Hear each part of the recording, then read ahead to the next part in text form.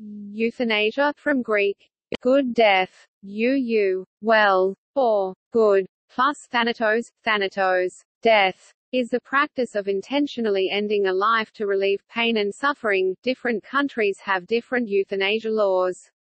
The British House of Lords Select Committee on Medical Ethics defines euthanasia as a deliberate intervention undertaken with the express intention of ending a life, to relieve intractable suffering. In the Netherlands and Belgium, euthanasia is understood as termination of life by a doctor at the request of a patient. The Dutch law however, does not use the term euthanasia but includes the concept under the broader definition of assisted suicide and termination of life on request. Euthanasia is categorized in different ways, which include voluntary, non-voluntary, or involuntary. Voluntary euthanasia is legal in some countries. Non-voluntary euthanasia patient's consent unavailable is illegal in all countries. Involuntary euthanasia without asking consent or against the patient's will is also illegal in all countries and is usually considered murder. As of 2006, euthanasia had become the most active area of research in bioethics. In some countries divisive public controversy occurs over the moral, ethical, and legal issues associated with euthanasia.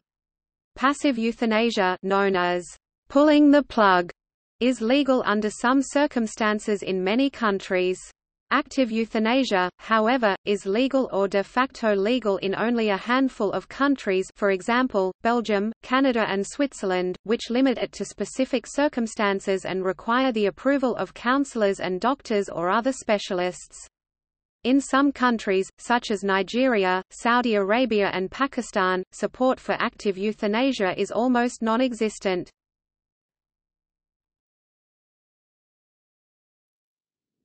Topic. Definition Like other terms borrowed from history, euthanasia has had different meanings depending on usage. The first apparent usage of the term, euthanasia, belongs to the historian Suetonius, who described how the Emperor Augustus, dying quickly and without suffering in the arms of his wife, Livia, experienced the euthanasia he had wished for. The word, euthanasia, was first used in a medical context by Francis Bacon in the 17th century, to refer to an easy, painless, happy death, during which it was a physician's responsibility to alleviate the physical sufferings of the body. Bacon referred to an outward euthanasia, the term outward he used to distinguish from a spiritual concept the euthanasia which regards the preparation of the soul. In current usage, euthanasia has been defined as the painless inducement of a quick death. However, it is argued that this approach fails to properly define euthanasia, as it leaves open a number of possible actions which would meet the requirements of the definition, but would not be seen as euthanasia. In particular, these include situations where a person kills another, painlessly, but for no reason beyond that of personal gain, or accidental deaths that are quick and painless, but not intentional. Another approach incorporates the notion of suffering into the definition. The definition offered by the Oxford English Dictionary incorporates suffering as a necessary condition, with the painless killing of a patient suffering from an incurable and painful disease or in an irreversible coma. This approach is included in Marvin Kohl and Paul Kurtz's definition of it as a mode or act of inducing or permitting death painlessly as a relief from suffering.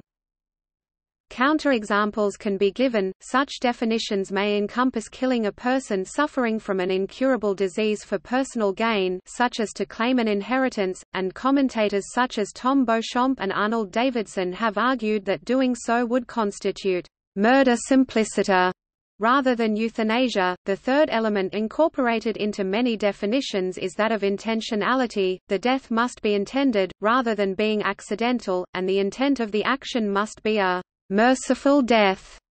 Michael Wreen argued that The principal thing that distinguishes euthanasia from intentional killing simpliciter is the agent's motive, it must be a good motive insofar as the good of the person killed is concerned. Likewise, James Field argued that euthanasia entails a sense of compassion towards the patient, in contrast to the diverse non-compassionate motives of serial killers who work in healthcare professions. Similarly, Heather Draper speaks to the importance of motive, arguing that the motive forms a crucial part of arguments for euthanasia, because it must be in the best interests of the person on the receiving end. Definitions such as that offered by the House of Lords Select Committee on Medical Ethics take this path, where euthanasia is defined as a deliberate intervention undertaken with the express intention of ending a life, to relieve intractable suffering. Beauchamp and Davidson also highlight Baruch Brody's, an act of euthanasia is one in which one person a kills another person, B, for the benefit of the second person, who actually does benefit from being killed. Draper argued that any definition of euthanasia must incorporate four elements, an agent and a subject, an intention, a causal proximity, such that the actions of the agent lead to the outcome, and an outcome. Based on this, she offered a definition incorporating those elements, stating that euthanasia must be defined as death that results from the intention of one person to kill another person, using the most gentle and painless means possible, that is motivated solely by the best interests of the person who dies. Prior to Draper, Beauchamp and Davidson had also offered a definition that includes these elements. Their definition specifically discounts fetuses to distinguish between abortions and euthanasia. In summary, we have argued, that the death of a human being, A, is an instance of euthanasia if and only if one A's death is intended by at least one other human being, B, where B is either the cause of death or a causally relevant feature of the event resulting in death, whether by action or by omission. 2. There is either sufficient current evidence for B to believe that A is acutely suffering or irreversibly comatose, or there is sufficient current evidence related to A's present condition such that one or more known causal laws supports B's belief that A will be in a condition of acute suffering or irreversible comatoseness. 3. A. B's primary reason for intending A's death is cessation of A's actual or predicted future suffering or irreversible comatoseness, where B does not intend A's death for a different primary reason, though there may be other relevant reasons, and B. There is sufficient current evidence for either A or B that causal means to A's death will not produce any more suffering than would be produced for if if B were not to intervene. 4. The causal means to the event of A's death are chosen by A or B to be as painless as possible, unless either A or B has an overriding reason for a more painful causal means, where the reason for choosing the latter causal means does not conflict with the evidence in 3b. 5a is a non-fetal organism. Wreen, in part responding to Beauchamp and Davidson, offered a six-part definition, person A committed an act of euthanasia if and only if 1 a killed B or let her die, 2 are intended to kill B, 3 the intention specified in 2 was at least partial cause of the action specified in 1, 4 the causal journey from the intention specified in 2 to the action specified in 1 is more or less in accordance with A's plan of action, 5 A's killing a B is a voluntary action, 6 the motive for the action specified in 1 the motive standing behind the intention specified in 2, is the good of the person killed. Wreen also considered a seventh requirement. 7. The good specified in 6 is, or at least includes, the avoidance of evil.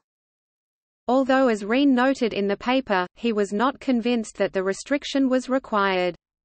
In discussing his definition, Wreen noted the difficulty of justifying euthanasia when faced with the notion of the subject's right to life.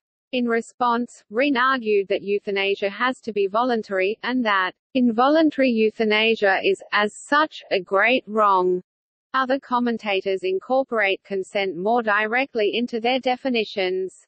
For example, in a discussion of euthanasia presented in 2003 by the European Association of Palliative Care EPAC Ethics Task Force, the authors offered medicalized killing of a person without the person's consent, whether non-voluntary, where the person is unable to consent, or involuntary, against the person's will, is not euthanasia, it is murder. Hence, euthanasia can be voluntary only. Although the EPAC Ethics Task Force argued that both non-voluntary and involuntary euthanasia could not be included in the definition of euthanasia, there is discussion in the literature about excluding one but not the other.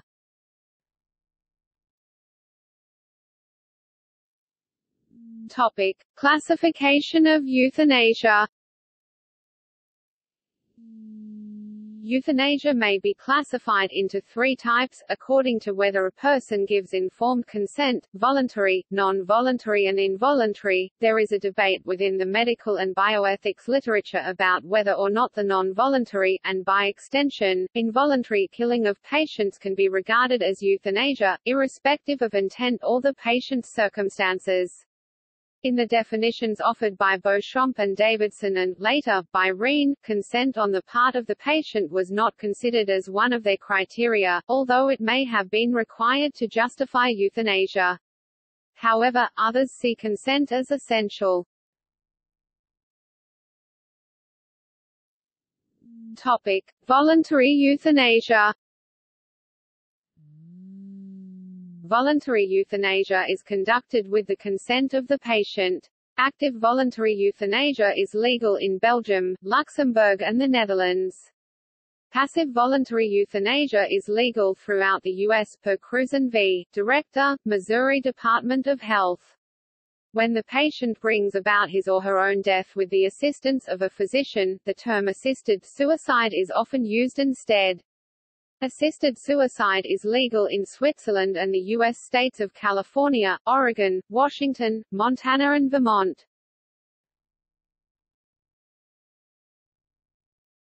Topic: Non-voluntary euthanasia. Non-voluntary euthanasia is conducted when the consent of the patient is unavailable. Examples include child euthanasia, which is illegal worldwide but decriminalized under certain specific circumstances in the Netherlands under the Groningen Protocol.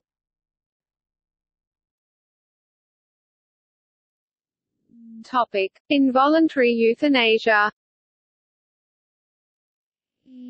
Involuntary euthanasia is conducted against the will of the patient. Topic: Passive and active euthanasia. Voluntary, non-voluntary and involuntary types can be further divided into passive or active variants. Passive euthanasia entails the withholding treatment necessary for the continuance of life. Active euthanasia entails the use of lethal substances or forces such as administering a lethal injection, and is the more controversial. While some authors consider these terms to be misleading and unhelpful, they are nonetheless commonly used. In some cases, such as the administration of increasingly necessary, but toxic doses of painkillers, there is a debate whether or not to regard the practice as active or passive.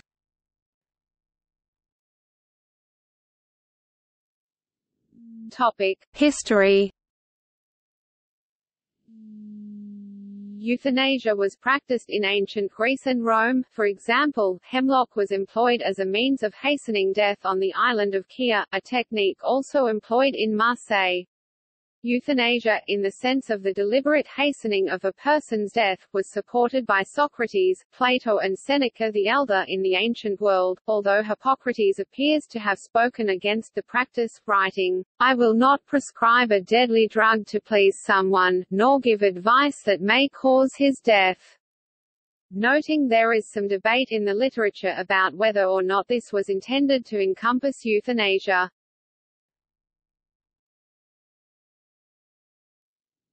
Topic: Early modern period. The term euthanasia in the earlier sense of supporting someone as they died, was used for the first time by Francis Bacon. In his work, Euthanasia Medica, he chose this ancient Greek word and, in doing so, distinguished between euthanasia interior, the preparation of the soul for death, and euthanasia exterior, which was intended to make the end of life easier and painless, in exceptional circumstances by shortening life. That the ancient meaning of an easy death came to the fore again in the early modern period can be seen from its definition in the 18th century Zeidler's Universalexikon euthanasia, a very gentle and quiet death, which happens without painful convulsions. The word comes from eu, bene, well, and thanatos, morse, death. The concept of euthanasia in the sense of alleviating the process of death goes back to the medical historian, Carl Friedrich Heinrich Marx, who drew on Bacon's philosophical ideas. According to Marx, a doctor had a moral duty to ease the suffering of death through encouragement, support and mitigation using medication. Such an alleviation of death reflected the contemporary zeitgeist, but was brought into the medical canon of responsibility for the first time by Marx. Marx also stressed the distinction between the theological care of the soul of sick people from the physical care and medical treatment by doctors. Euthanasia in its modern sense has always been strongly opposed in the Judeo-Christian tradition. Thomas Aquinas opposed both and argued that the practice of euthanasia contradicted our natural human instincts of survival, as did François Ranchin (1565–1641), a French physician and professor of medicine, and Michael Boudewijn (1601–1681), a physician and teacher.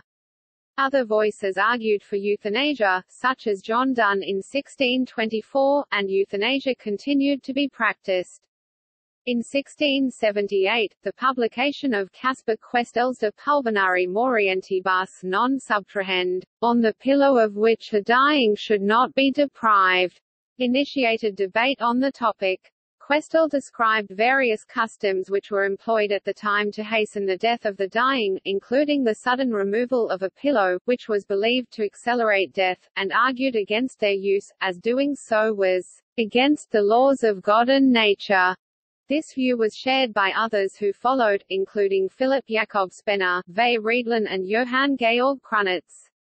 Despite opposition, euthanasia continued to be practiced, involving techniques such as bleeding, suffocation, and removing people from their beds to be placed on the cold ground. Suicide and euthanasia became more accepted during the Age of Enlightenment. Thomas More wrote of euthanasia in Utopia, although it is not clear if More was intending to endorse the practice. Other cultures have taken different approaches, for example, in Japan suicide has not traditionally been viewed as a sin, as it is used in cases of honor, and accordingly, the perceptions of euthanasia are different from those in other parts of the world.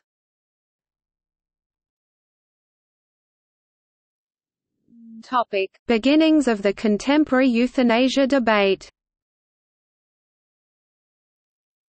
In the mid-1800s, the use of morphine to treat the pains of death emerged with John Warren recommending its use in 1848. A similar use of chloroform was revealed by Joseph Bullar in 1866. However, in neither case was it recommended that the use should be to hasten death. In 1870 Samuel Williams, a schoolteacher, initiated the contemporary euthanasia debate through a speech given at the Birmingham Speculative Club in England, which was subsequently published in a one-off publication entitled Essays of the Birmingham Speculative Club, the collected works of a number of members of an amateur philosophical society. Williams' proposal was to use chloroform to deliberately hasten the death of terminally ill patients, that in all cases of hopeless and painful illness, it should be the recognized duty of the medical attendant, whenever so desired by the patient, to administer chloroform or such other anesthetic as may by and by supersede chloroform, so as to destroy consciousness at once, and put the sufferer to a quick and painless death, all needful precautions being adopted to prevent any possible abuse of such duty, and means being taken to establish, beyond the possibility of doubt or question, that the remedy was applied applied at the express wish of the patient. The essay was favorably reviewed in the Saturday Review, but an editorial against the essay appeared in The Spectator. From there it proved to be influential, and other writers came out in support of such views. Lionel Tollemache wrote in favor of euthanasia, as did Annie Besant, the essayist and reformer who later became involved with the National Secular Society, considering it a duty to society to die voluntarily and painlessly, when one reaches the point of becoming a burden. Popular Science analyzed the issue in May 1873, assessing both sides of the argument. Kemp notes that at the time, medical doctors did not participate in the discussion, it was essentially a philosophical enterprise tied inextricably to a number of objections to the Christian doctrine of the sanctity of human life.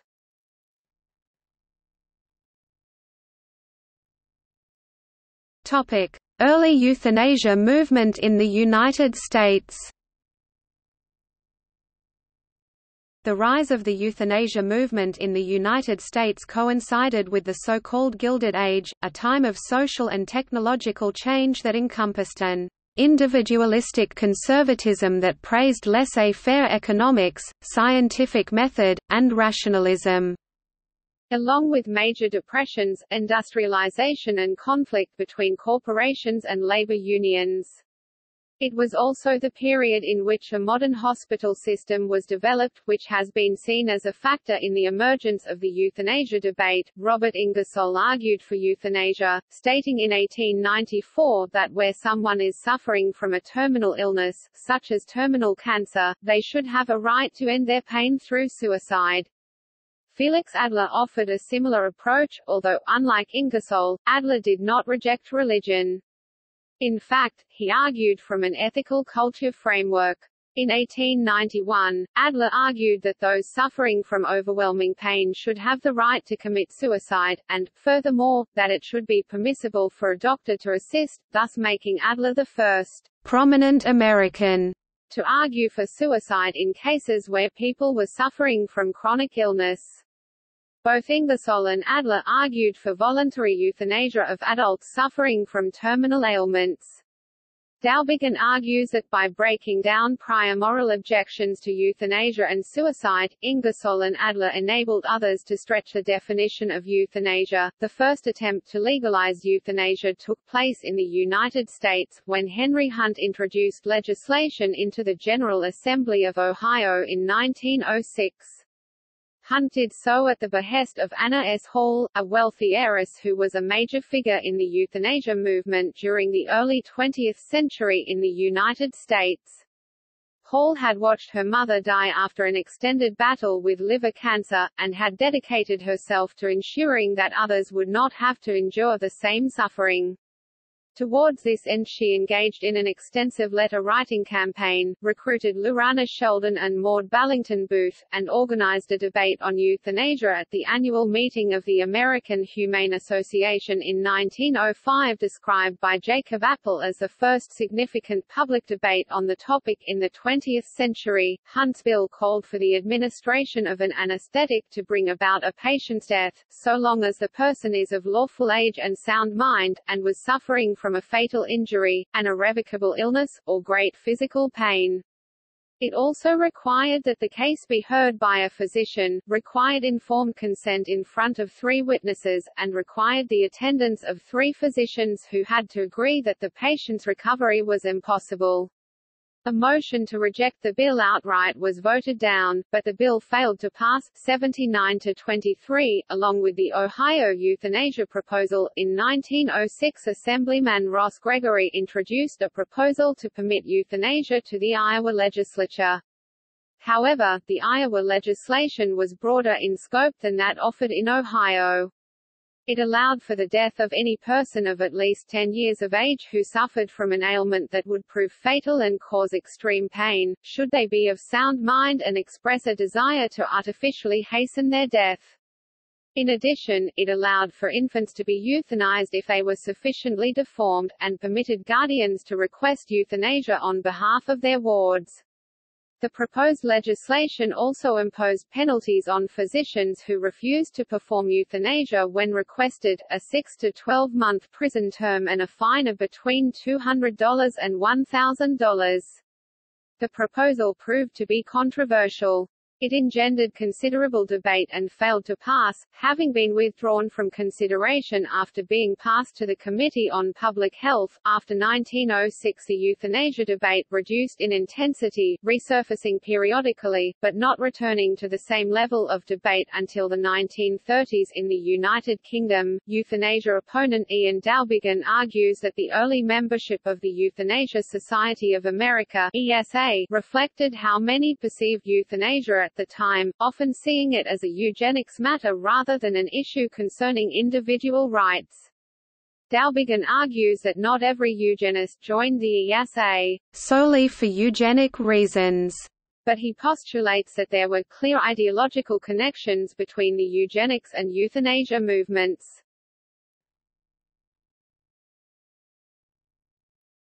Topic: 1930s in Britain.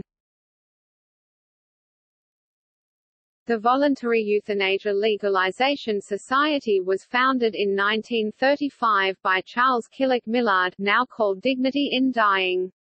The movement campaigned for the legalization of euthanasia in Great Britain.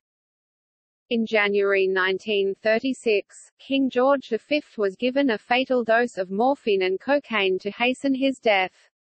At the time he was suffering from cardiorespiratory failure, and the decision to end his life was made by his physician, Lord Dawson. Although this event was kept a secret for over 50 years, the death of George V coincided with proposed legislation in the House of Lords to legalize euthanasia.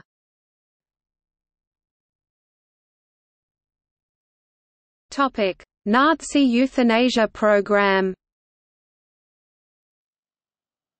A 24 July 1939 killing of a severely disabled infant in Nazi Germany was described in a BBC genocide under the Nazis timeline as the first state-sponsored euthanasia. Parties that consented to the killing included Hitler's office, the parents, and the Reich Committee for the Scientific Registration of Serious and Congenitally Based Illnesses. The Telegraph noted that the killing of the disabled infant, whose name was Gerhard Kretschmar, born blind, with missing limbs, subject to convulsions, and reportedly, an idiot, provided the rationale for a secret Nazi decree that led to mercy killings of almost 300,000 mentally and physically handicapped people.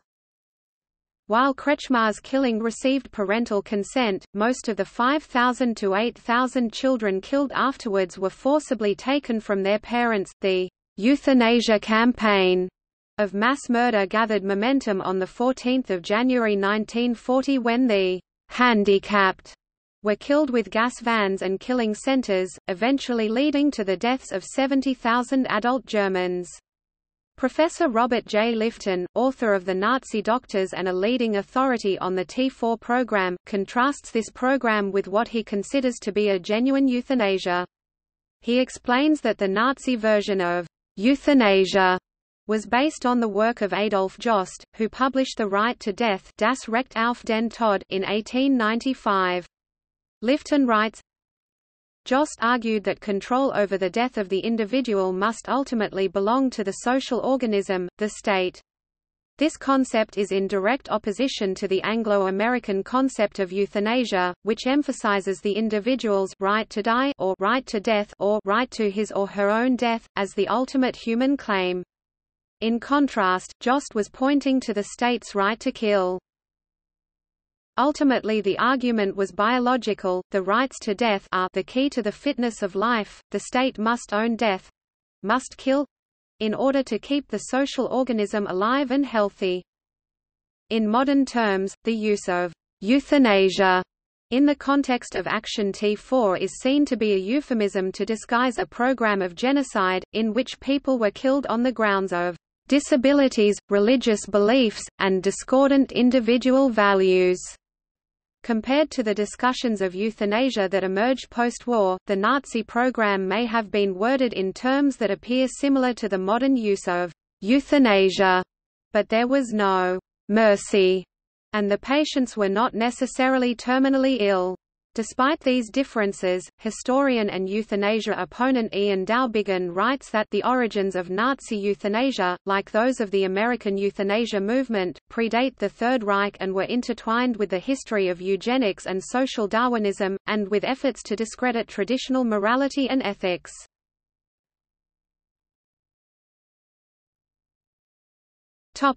Topic: 1949 New York State petition for euthanasia and Catholic opposition On 6 January 1949, the Euthanasia Society of America presented to the New York State Legislature a petition to legalize euthanasia, signed by 379 leading Protestant and Jewish ministers, the largest group of religious leaders ever to have taken this stance. A similar petition had been sent to the New York legislature in 1947, signed by approximately 1,000 New York physicians. Roman Catholic religious leaders criticized the petition, saying that such a bill would legalize a suicide-murder pact and a rationalization of the fifth commandment of God, thou shalt not kill. The Right Reverend Robert E. McCormick stated that the ultimate object of the Euthanasia Society is based on the totalitarian principle that the state is supreme and that the individual does not have the right to live if his continuance in life is a burden or hindrance to the state. The Nazis followed this principle and compulsory euthanasia was practiced as a part of their program during the recent war. We American citizens of New York State must ask ourselves this question. Are we going to finish Hitler's job? The petition brought tensions between the American Euthanasia Society and the Catholic Church to a head that contributed to a climate of anti-Catholic sentiment generally, regarding issues such as birth control, eugenics, and population control. However, the petition did not result in any legal changes.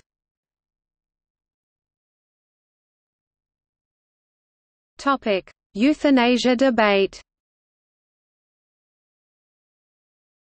Historically, the euthanasia debate has tended to focus on a number of key concerns. According to euthanasia opponent Ezekiel Emanuel, proponents of euthanasia have presented four main arguments, a, that people have a right to self-determination, and thus should be allowed to choose their own fate, b, assisting a subject to die might be a better choice than requiring that they continue to suffer, c, the distinction between passive euthanasia, which is often permitted, and active euthanasia, which is not substantive or that the underlying principle the doctrine a double effect is unreasonable or or unsound, and d. permitting euthanasia will not necessarily lead to unacceptable consequences. Pro-euthanasia activists often point to countries like the Netherlands and Belgium, and states like Oregon, where euthanasia has been legalized, to argue that it is mostly unproblematic. Similarly, Emanuel argues that there are four major arguments presented by opponents of euthanasia, a. Not all deaths are painful, b. Alternatives, such as cessation of active treatment, combined with the use of effective pain relief, are available, c. The distinction between active and passive euthanasia is morally significant, and d. Legalizing euthanasia will place society on a slippery slope, which will lead to unacceptable consequences. In fact, in Oregon, in 2013, pain wasn't one of the top five reasons people sought euthanasia. Top reasons were a loss of dignity, and a fear of burdening others. In the United States in 2013, 47% nationwide supported doctor assisted suicide. This included 32% of Latinos, 29% of African Americans, and almost nobody with disabilities. A 2015 Populus poll in the United Kingdom found broad public support for assisted dying. 82% of people supported the introduction of assisted dying laws, including 86% of people with disabilities. One concern is that euthanasia might undermine filial responsibility. In some countries, adult children of impoverished parents are legally entitled to support payments under filial responsibility laws. 30 out of the 50 United States as well as France, Germany, Singapore, and Taiwan have filial responsibility laws.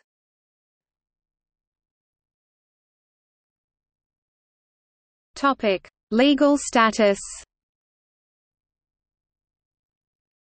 West's Encyclopedia of American Law states that a mercy killing or euthanasia is generally considered to be a criminal homicide and is normally used as a synonym of homicide committed at a request made by the patient. The judicial sense of the term homicide includes any intervention undertaken with the express intention of ending a life, even to relieve intractable suffering.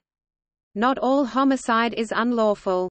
Two designations of homicide that carry no criminal punishment are justifiable and excusable homicide. In most countries this is not the status of euthanasia. The term, euthanasia, is usually confined to the active variety. The University of Washington website states that Euthanasia generally means that the physician would act directly, for instance by giving a lethal injection, to end the patient's life. Physician-assisted suicide is thus not classified as euthanasia by the U.S. state of Oregon, where it is legal under the Oregon Death with Dignity Act, and despite its name, it is not legally classified as suicide either. Unlike physician-assisted suicide, withholding or withdrawing life-sustaining treatments with patient consent voluntary is almost unanimously considered, at least in the United States, to be legal. The use of pain medication to relieve suffering, even if it hastens death, has been held as legal in several court decisions. Some governments around the world have legalized voluntary euthanasia, but most commonly it is still considered to be criminal homicide. In the Netherlands and Belgium, where euthanasia has been legalized, it still remains homicide although it is not prosecuted and not punishable if the perpetrator the doctor meets certain legal conditions. In a historic judgment, the Supreme Court of India legalized passive euthanasia. The Apex Court remarked in the judgment that the Constitution of India values liberty, dignity, autonomy, and privacy. A bench headed by Chief Justice Deepak Misra delivered a unanimous judgment.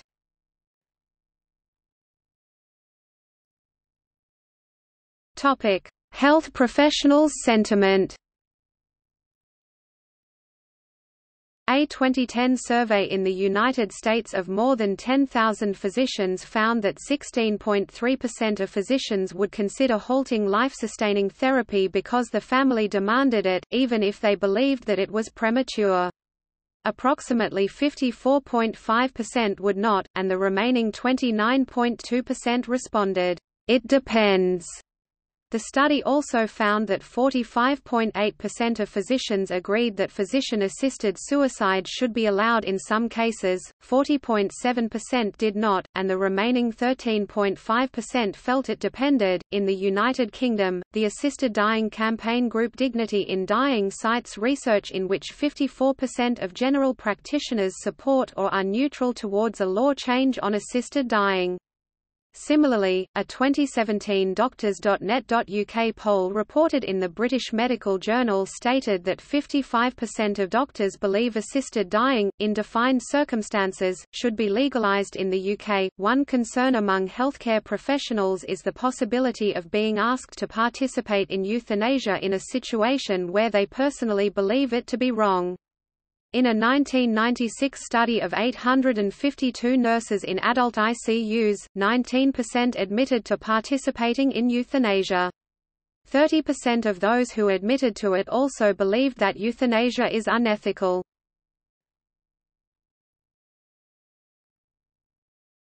Topic: Religious views.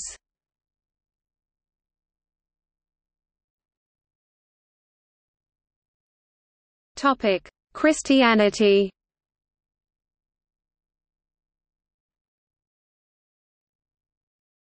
Topic: Broadly against. The Roman Catholic Church condemns euthanasia and assisted suicide as morally wrong. It states that intentional euthanasia, whatever its forms or motives, is murder.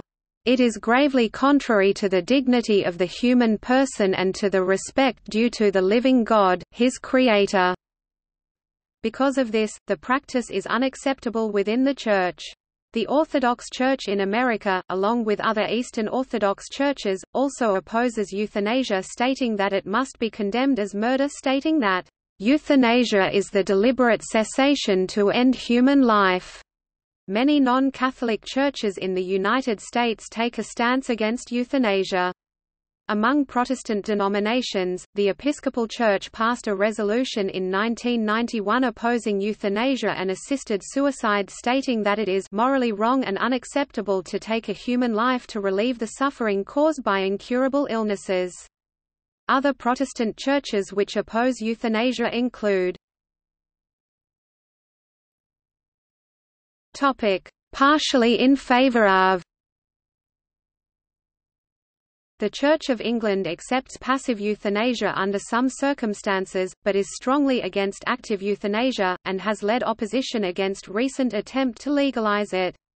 The United Church of Canada accepts passive euthanasia under some circumstances, but is in general against active euthanasia, with growing acceptance now that active euthanasia has been partly legalised in Canada.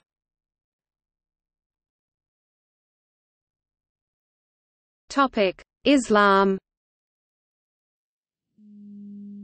Euthanasia is a complex issue in Islamic theology, however, in general it is considered contrary to Islamic law and holy texts.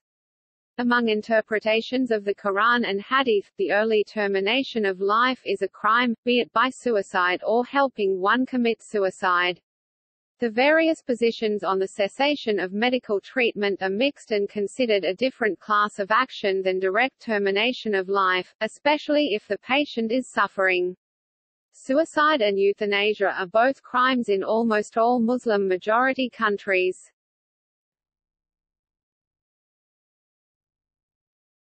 Topic: Judaism There is much debate on the topic of euthanasia in Judaic theology, ethics, and general opinion especially in Israel and the United States. Passive euthanasia was declared legal by Israel's highest court under certain conditions and has reached some level of acceptance.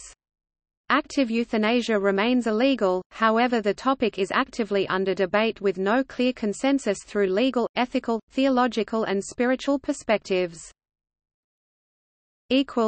See also